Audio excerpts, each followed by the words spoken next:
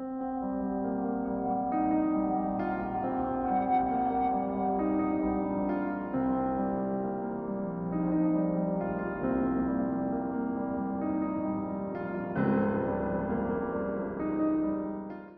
북한은 이제 히, 히틀러 나치즘 이래 가장 극, 극악스러운 가장 공포스러운 독재를 하고 있는데 그 독재의 핵심은 바로 정보 통제. 그러니까 북한 사람만큼 외부의 정보에 완전히 차단된 사람들은 지구상에 없다. 그래서 북한은 안 망한다. 이게 북한의 신념인데 북한을 변화시키려면 아무리 외부에서 무슨 국제회의하고 뭐 한다고 해도 그게 중요한 게 아니라 북한 주민들에게 외부의 정보를 듣게 하는 게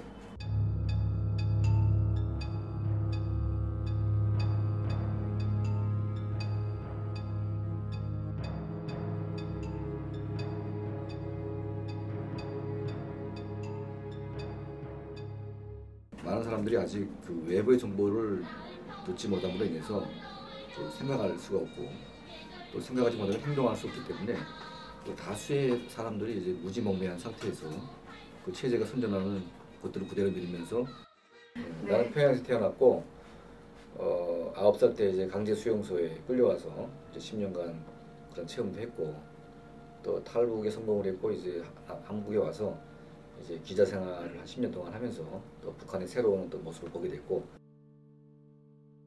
제 개인적인 스토리하고도 연계가 되는데 내가 89년도에 그 처음으로 이제 우연한 기회에 라디오를 접하고 그 라디오에서 나오는 정보들을 들으면서 어, 엄청난 충격을 받았던 그 기회가 아직도 생생한데 그 충격은 뭐냐면 6.25 전쟁에 대한 진실 누가 전쟁을 일으켰냐. 우리는 이제 당연히 미국이 일으킨, 일으킨 걸로 배웠는데 그 내용을 들어보니까 반대로 돼 있다는 거죠 그래서 거기에 대한 제가 북한 정권에 대한 배신감을 느끼고 북한 정권을 내가 좀 싫어하게 된 첫 이유가 그 라디오 때문에 시작이 됐고 그 라디오를 들음으로 인해서 외부의 정보에 제가 익숙하게 됐고 결국은 탈북하게 됐다는 거죠.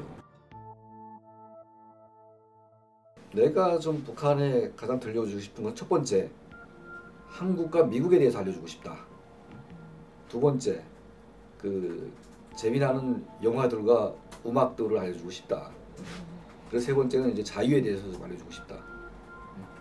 그러니까 누구나 다 볼 수 있고 누구나 다 누릴 수 있고 누구나 다 할 수 있는 것들을 북한은 누구나 못하기 때문에 어, 아주 기본적인 것들을 할 수 있다는 것을 우리가 보여주고 싶다는 거죠.